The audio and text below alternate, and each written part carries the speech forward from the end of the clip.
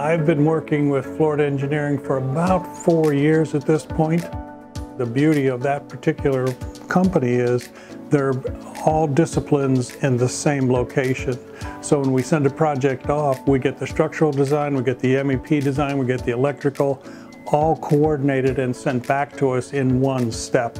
That's a big plus for us. That cuts a lot of time and revisions out of getting our projects ready for permits. Customer service has been wonderful. We send things off to them. We get them back in a very reasonable amount of time. Any adjustments or changes, which are normal in projects, we get those revisions back from them also. It's been a good working relationship and part of our growth in this market is due to their support. The fact that we can get projects put together quickly. As everybody gets overloaded or swamped with work, working with Florida Engineering, we found that we have a leg up on some of the other firms in town in that we can get quicker permit plans put together and get the projects out the door faster for clients, which they appreciate.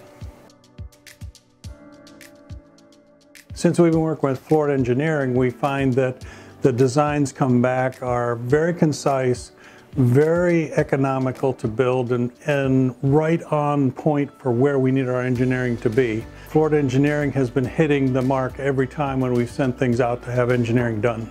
We do a large variety. We do restaurants, we do apartments, we do condos, we do big single family homes, we do golf course clubhouses, we do maintenance buildings, and we've always found that Florida Engineering is capable and experienced in each one of the types of projects we do, and we find their work to be perfect.